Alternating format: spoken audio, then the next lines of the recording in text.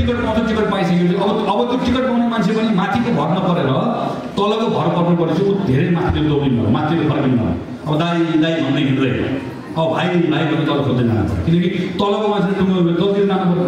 माथिको मान्छे टुङ्गो माथितिर जानु पऱ्यो। पार्टी माथितिर फर्केर वडाको मान्छेले पालिकालाई हेर्छ पालिकाको क्षेत्रलाई हेर्छ क्षेत्रकोले माथिलाई हेर्छ माथि हेर्दा हेर्दा हेर्दा अन्तिममा गएर दाइ दाइमा पुग्छ। यसलाई ठ्याक्कै उल्टाइदियो यसलाई उल्टाइदिएपछि के हुन्छ भने सबै माथिकोले तल तल तल तल तल तल तल तल हेर्दै जान्छ सक्दिन बदल्यो यो पार्टीको केन्द्रीय सदस्य भइसकेपछि तल बुथबाट निर्वाचन भएर आउनु नपर्ने कुराले पनि धेरै ठुलो उथल पुथल यसलाई पनि बदल सबै तलबाट आउनुपर्ने सबै तल सदस्यले निर्वाचन गर्नुपर्ने माथि तलसम्म पार्टीको पद्धति पनि बदल्नु गर्नुहोस् यो पार्टीको पद्धति बदल्यो भने पार्टीभित्र वर्षौँदेखि रहेको गुरु परम्परा पनि भचिन्छ पार्टीमा काबिल मान्छेहरूलाई मौका दिनु ती काबिल मान्छेले तिन चार वर्ष चलाउनु प्रदेश चलाउनु सङ्घ चलाउनु त्यहाँबाट पर्फर्म गर्नु तपाईँहरू जस्तो पालिकाको अध्यक्षले काम गर्नुहोस् त्यो कामबाट परिणाम पनि हेर्नुहोस्। यो परिणामबाट दिने कामहरू गऱ्यौँ भनेदेखि भने बल्ल यसको उपचार निस्कन्छ। त्यसैले मैले साथीहरूलाई भनेको र हाम्रो पार्टीमा अहिले काहीँ न दुखेको छ।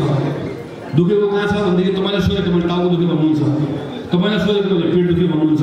तपाईँलाई सोधेको तपाईँले घुँडा दुखे भन्नुहुन्छ। कहाँ दुखेको हुन्छ? पार्टीलाई दुखेको छ दुखेको म भन्छु खास दुखेको छ? खास दुखेको औँलाको टुप्पोमा छ।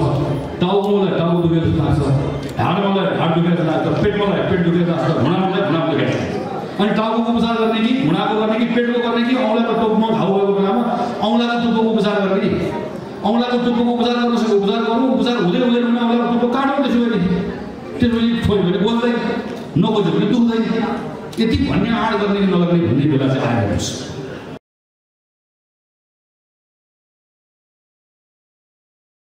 लागि यहाँ पनि आफू हुनुहुन्छ मैले यहाँ